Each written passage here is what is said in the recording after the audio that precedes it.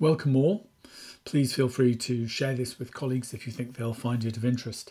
Let's talk today about how you handle a session that doesn't go so well.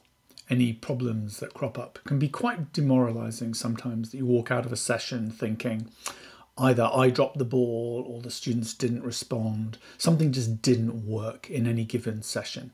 Now, not every session is going to go well. It could be something you have failed to plan for. It may be that you misjudged the receptivity of the students. It may be that they just were very resistant to what it was you're asking them to engage with in the session. And how you manage that system dynamic is obviously very problematic.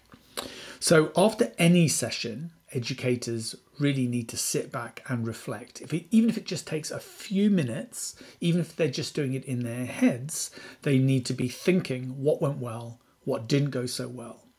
If it doesn't go well, if there's a particular problem in any given session, it's a really good idea to journal it, write something down, even just a few notes on the back of your notes are fine, but to write something down as soon as possible after the session, to discuss it with colleagues, just to literally go back to the whatever the virtual coffee room is or the staff room and, and talk to your colleagues about why something didn't go well and be open about that. You won't be judged for it if you're honest about it.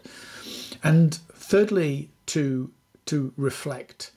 And how deeply you reflect will depend a little bit on whether it was a serious issue or, or a relatively minor issue. You maybe want to think about from a positive perspective about what you would do differently if you had it again and if you were faced with those similar circumstances in the future, how you might plan to do it differently.